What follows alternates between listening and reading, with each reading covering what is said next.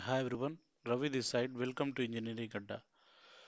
So today I'm just going to discuss you the prerequisite for this course. So you should be having some application installed and some basic knowledge of Spring. So let me walk you through what the IDE and what the database is and what other tools I'm going to use for this uh, development. So these are the list of application that you should be having on your system so that we can uh, go for this course.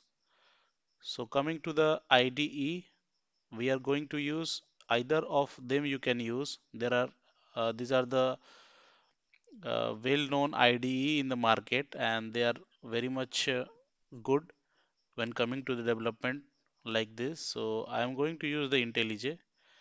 Okay, so I am going to use the IntelliJ Premium version. Uh, you can use the IntelliJ Premium version for uh, free for one month. So from there you can uh, download like from the IntelliJ site you can download it and you can use the ultimate version for one month free. So I'm going to use the IntelliJ for this uh, lectures. Uh, you can use the Eclipse as well as you can use the STS. If you have any of them, then you can also use this. Coming to the database, uh, I am going to use these two databases. One is MySQL Workbench and another is PostgreSQL. So you can see on my system, I already have installed the MySQL and for PostgreSQL, when you will install it, so some server page will open like pgadmin. There you need to log in and you can see this is the PostgreSQL.